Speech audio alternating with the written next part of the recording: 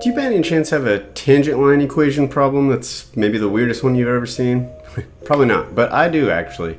Somebody recently asked me a question as a comment on one of my videos that has to do with finding the tangent line of a specific function. And it was a pretty weird one, maybe the weirdest one I've ever seen. So I wanted to show you that in case you came across a similar problem. And let that be a lesson to you too. If you've got questions that you have about calculus, feel free to drop them as a comment on one of my videos and maybe I'll make a video about it one day. But anyway, let's joke, go ahead and just jump right into this problem. So here's the problem we're gonna be going over today. And I know that it doesn't look like a weird problem, but bear with me for just a second and I'll explain exactly why this is such a weird uh, tangent line equation problem. So what we're gonna do is determine the equations of two lines that pass through the point negative one, negative three, and are tangent to the graph of y equals x squared plus one. So let me show why this is such a weird problem by graphing this function and this point.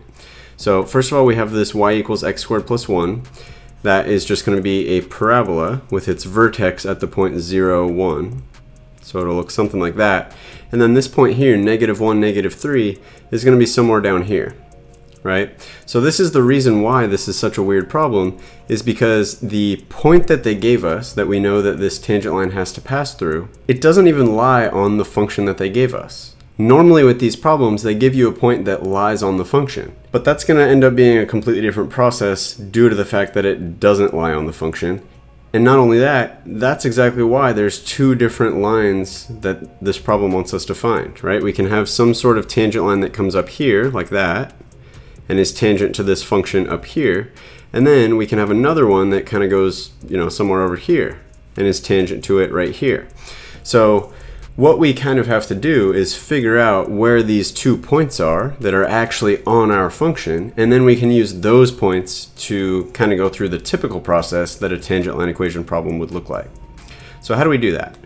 Well, it's going to be a similar process to what we would have to do if we were given a point that's actually on the function. What you want to keep in mind is what we're trying to find is a tangent line, which means our answer should be the equation of a line. So let's go ahead and just start with the generic equation of a line. y equals m times m x minus x0 plus y0. So in this kind of generic form of a line, m is our slope, and then x0, y0 is some point that lies on this line. So in order for this line to be a tangent line to the function that we have, it needs to share two things in common with the function itself. It needs to go through uh, the same point, it needs to share a point, and at that specific point, it needs to have the same slope as our function. So what we have to do is basically come up with some sort of generic version that represents each of these two points. And not only that, we have to figure out the slope of our function x squared plus 1 at those two points. So to do that, what we want to do is kind of think of some generic point that lies on this function. So what I mean by that is, let's just say that this point that we're going to look at, the x-coordinate is just some unknown constant a. You can pretty much call it whatever you want, but it does need to be some sort of unknown constant. In this case, like I said, we'll use a. So what would be the y-coordinate of a point that lies on this function with the x-coordinate being a? Well, to figure that out, we could just plug a into our function, and whatever output we get would be the y-coordinate. So if we plug a in here for x, we're going to get a squared plus 1. So that would be the y-coordinate of this point that we know, this point a, a squared plus 1, lies on the function no matter what a we plug in there. So what we're going to do is we're going to use a and a squared plus 1 as our x0, y0, some point that lies on there. So what we also need to do is figure out the slope at this point a and a squared plus 1. Well, to figure out the slope, slope should always make you think derivative. To figure out the slope of this function at some specific x value, what we need to do is find its derivative. Well, the derivative of this function, the derivative with respect to x of x squared plus 1 can be found just using the power rule. We can bring the power down in front and lower the power by 1, giving us 2x, and then the derivative of 1 is just 0. So the equation that tells us the slope of this function at any given point, no matter what x value we plug in, would just be 2 times that x value. So if we want to find the slope of our function when x equals a, we would just plug in a into our derivative. So that would just tell us the slope of our function at the x coordinate of a would just be 2a. So what we've just figured out now is the slope of our function at this point and the x coordinate and the y coordinate at these points. So if we plug these three pieces now into this generic form for the, the equation of this tangent line we have, that'll give us some kind of generic tangent line equation. We'll have to figure out what a should actually be in order for this to work, but at least we have kind of a template to use. So again, our slope is going to be m, so that's 2a. x is our variable, that's going to stay as x. x0 is the x coordinate that we have, which is a. And then plus y0, which is the y coordinate we have, which is a squared plus 1. So we know that each of these tangent line equations need to follow this kind of general format. What we can do at this point is simplify, which should make things a little bit easier going forward.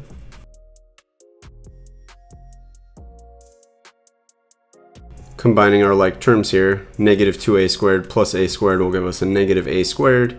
Then we have a 2 2xa. I'll go ahead and write it in that form because what we want to do now is think of this as a function of a. What we want to do is solve for a. Well, since we have an a squared term, an a term, and then a constant term, what we can do is treat this as a quadratic, thinking of a as our variable, just for a second. Obviously, x is the variable of this tangent line equation function that we're looking for. But just for a second, we'll solve this for a by thinking of a as a variable, and what we have is a quadratic. So first of all, what we can do is complete the square. So to complete the square, what we want to do is kind of rewrite this equation where we're going to have an a squared term, our a term again, and then we want to put in another new new uh, term here so that we can rewrite this as a plus or minus something all squared. So that's kind of our goal with completing the square. Well, to do that, all we really have to do is take the coefficient of our a term here, divide it by 2, and then square it. So the coefficient is 2x. If we take 2x divided by 2, that's x, and then x squared would be the final term. However, what we need to be careful about here is we had a negative a squared. So in order to make sure that this is equivalent to what we had up here, we need to keep our negative here. So what that means is if we kind of imagine distributing this negative in here to go back to that last step, putting the negative on the a squared will work, but then when we put the negative here, it's actually going to make it negative. So what we need to do to cancel that out is make this a negative 2xa, and therefore if we take our coefficient of negative 2x, divide that by 2, and then square it, well, since we're squaring it, we're still going to end up with a plus x squared. So then what we need to do to make sure that this step is equivalent to this step is we just artificially put in a negative x squared, right? Because if we distribute this negative, we're going to get negative x squared. So what we have to do to cancel that out is then add an x squared outside of our parentheses. And then we're still going to have our plus 1. So if you were to distribute this negative, combine our like terms, and simplify this, we would end up with exactly what we had back here. But the reason why this is pretty cool is what we can do now is we can rewrite a squared minus 2xa plus x squared as a minus x all squared. This is going to FOIL out into this. So as a result, these two things should be equivalent. And the reason why this is so great is because now, looking at this equation, we only have one a. So what we can do is basically move everything else over to the other side of the equation and get a all by itself. So first of all, if we subtract x squared and subtract 1 over to the other side, we'll get negative a minus x all squared equals y minus x squared minus 1. Then we can multiply both sides by negative 1 which would just make everything negative of what it was before. And then we can take the positive and negative square root of both sides, which cancels out the squared and the square root over here. And then we can just add the x over to the other side. So that gives us a equals x plus or minus the square root of negative y plus x squared plus 1.